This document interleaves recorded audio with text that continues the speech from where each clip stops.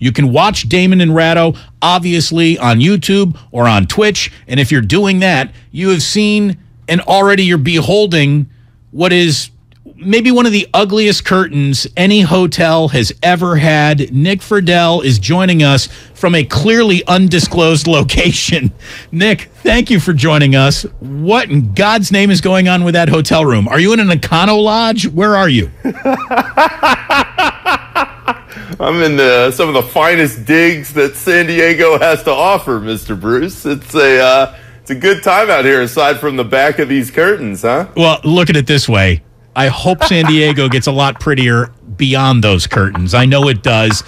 And I know you're hanging out with Slater. You guys are going to go hang out with Juan Soto tonight at a Padres game. That sounds fun. Yep, yep. As soon as as soon as we finish up here, Slater and I are going to go check out Petco and uh, and see what uh, what's going on there. This is one of my favorite places to be. This is always where I try to escape for a few days during the off season. So it's good to get out here. And of course, I get out to San Diego.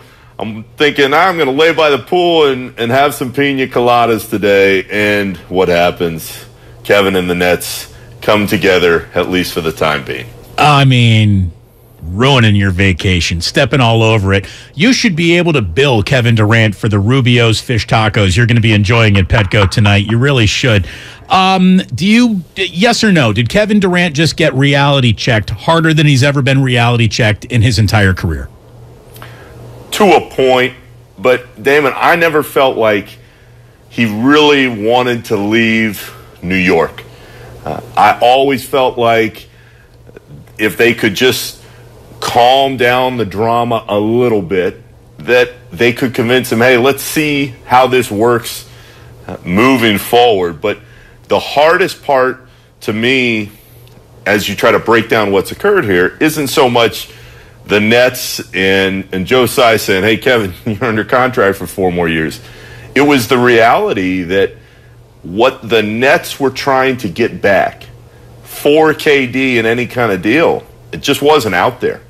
So Kevin is well aware of of the inner workings of the game. I think people don't understand how perceptive he is. And he clearly never made it a point going into the season where he said, I am out of here. And that's the difference to me is he saw that what they were being offered wasn't enough. Uh, he thought, okay, well, Let's see how this works, but count me in what feels like a large group of people that cover the league and around the league that are saying, eh, everything's good today at the end of August. Let's see what happens when something else happens, either during training camp or during the season. Rank for me, please, the three things that got most in the way of Kevin Durant finding a new team. Was it the Ben Simmons rookie extension, which prevented a lot of possible trades from happening? Was it concern over the injured Achilles and what his career could look like going forward on a four year deal? Or was it the haul of the Rudy Gobert deal, which just could not be met? I would rank those. The second one, to me, seemed like the biggest. That at the beginning, when all this popped out, Damon, there were so many people who went, Kevin Durant. This was the NBA's version of Instagram versus reality. The Nets thought, oh, Kevin Durant's on the market everybody will give us their very best offer and we will get an absolute haul to start fresh and move him to a new place. That just never happened. There were a lot of teams that looked around and thought, okay, well, four more years for a guy that has had injury concerns the last couple seasons. Uh, we know he's great when he's on the floor, but can he maintain that going into age 36, 37, 38? The Gobert part of this did not help anybody. Uh, that was a huge issue because, from an optics standpoint, there was no way the Nets were going to do some deal and have everybody go, well, they didn't even get what what Minnesota gave up to get Rudy Gobert, uh, and and so I think to me those two were huge, and then after that, the Simmons part of it didn't help. And guys, in my opinion, we can talk about KD all day. One of the biggest questions for the Nets in the league is what kind of player is Ben Simmons now? He's been out for a year and a half. What does he become for a team that if they're going to have Kevin Durant and Kyrie in theory, will be committed much more this year than he was last year, they can still win. But if Ben Simmons is a shell of what he used to be because of the back issues and because of the mental health concerns, the, the Nets aren't going anywhere. Uh, to the extent that you know him, how does Joe Tsai view his investment now? Is this something where he's still going to be comfortable going in on things, or do you think that he's looked at the way this last year basically imploded upon itself and how the Durant thing only exacerbated it? Is he going to be a sudden hardliner on things? Is he going to start looking maybe to get out? Is there what what's the what's the longer term damage to his ownership and to that franchise as a result? It's one of the single biggest questions in the NBA, Ray, because so many people view Joe Tsai and they say, "Oh, well, he's got a bunch of money. He can just keep throwing it at the Nets and their issues, and uh, he figures that things will take care of themselves." And only he knows that answer. And I can tell you that I have not had a chance to sit down with him uh, yet since I've been there, but the people that are around and that know him inside that organization, they like him. They say he's competitive as hell, just like so many other owners uh, across the league. But what happened in the last six months with this team they lost not only their identity, but they lost their culture. And Sean Marks said as much at the end of the season. And if you're trying to regain that and you're trying to uh, bring your power back as both an owner and an investment you made, uh, good luck with the way that you've structured this team. So, uh, I think that part is fascinating in this because does there come a point in this year if things don't go as planned where Tsai says, look, I, I can't handle this anymore.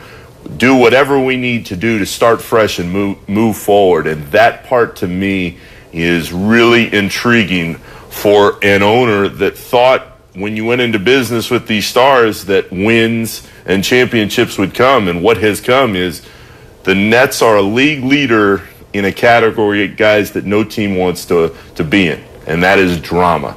And it is a huge component of everything they do internally day to day right now. When would you expect the fresh spate of Durant trade me rumors to happen? The trade deadline or next offseason? I would think if they struggle to start the year and they're just not the title type of team that everybody thought they were going to be on paper, I would expect it before the trade deadline.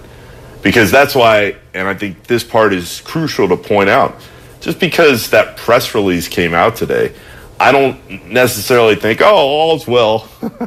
like they'll just keep rolling and things will be good. I, I don't believe that. That was the most miserable team I've ever seen at the end of last season. They just did not enjoy uh, the day to day. And I don't just mean players. I mean, everybody will focus on the Kyrie stuff. I mean, the coaching staff, the front office, the PR people, everybody knew how big of a mess that was. And so if they don't turn things around quickly going into next year, I think we're going to hear all the same stuff. And it's not just going to be Kevin, Ray, to your point. It's going to be Kyrie. It's going to be what happens with Simmons if he's not playing well.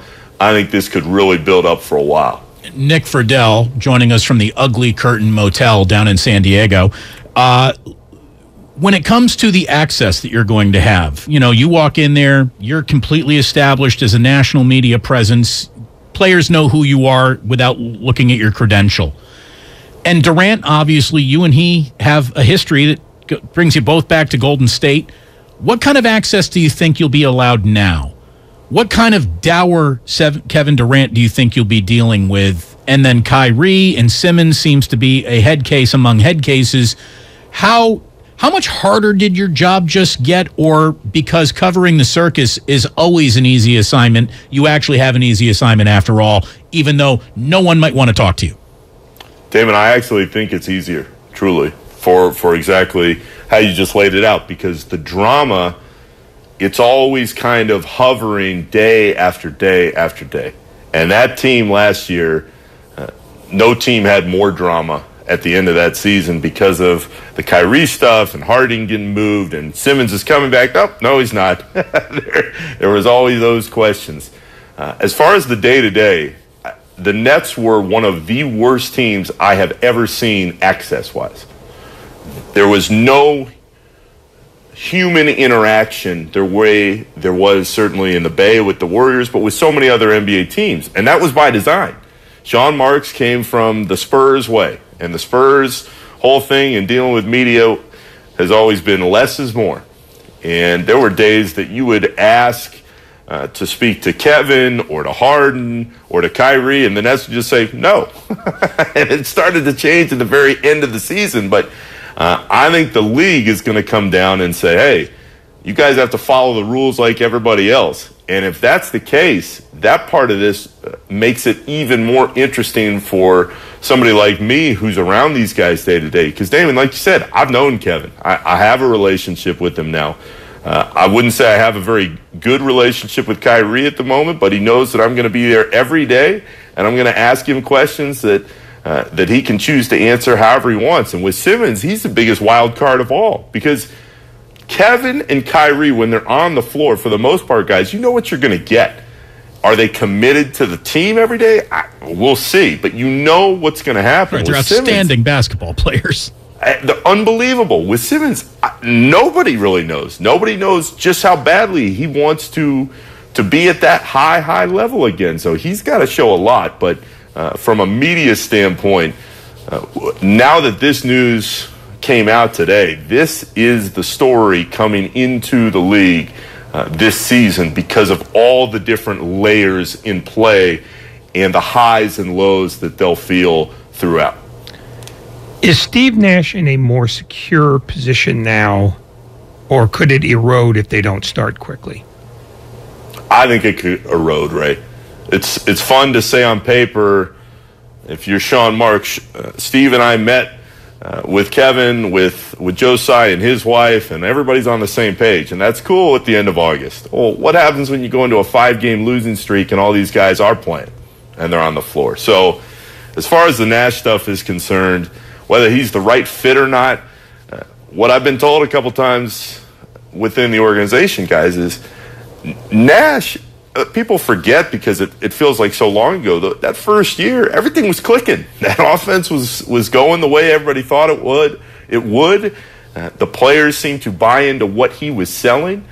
I remember talking to, to Kevin about it at the end of the season. He couldn't have been uh, more uh, defiant in his pushback that Nash is the guy he really felt like this was Steve Nash's team. And then we see the reports pop out in the last few weeks, and you're like, huh? Uh, that's a change. So, uh, as far as Nash goes, like any other coach, he'll be judged on how he how much he wins or if he doesn't. But Ray, I, I wouldn't feel more secure today. I think he's got to show up and get everybody on the same page. And with this team and the egos in play, that is a lot easier said than done. Look, we know that you got to go drinking around Petco real soon, and we'll let you go. But uh, an ESPN colleague of yours, Nick, Stephen A. Smith, basically today said that he's worried about Jonathan Kuminga. He's worried about worth, work ethic and the things he's hearing. Have you heard what Stephen A. Smith has to say? Have you heard anything like that about Kuminga? Uh, only Damon in in short doses, and this goes back to uh, more when Kuminga went down to the G League a couple of those times. I, I felt like there were moments when when people in the organization were kind of like, well, "Why isn't he just dominating?" Day? And and sometimes he did. He put up some numbers, and other times you look at the box score, you're like, "Huh?" so I don't know uh, day to day exactly what's going on because I'm not around it as much, but uh, there were some questions initially, but th- that was followed up quickly by, hey, we still really, really like him. He's incredibly talented for somebody that's that young, and he's got to learn what's going on in the game.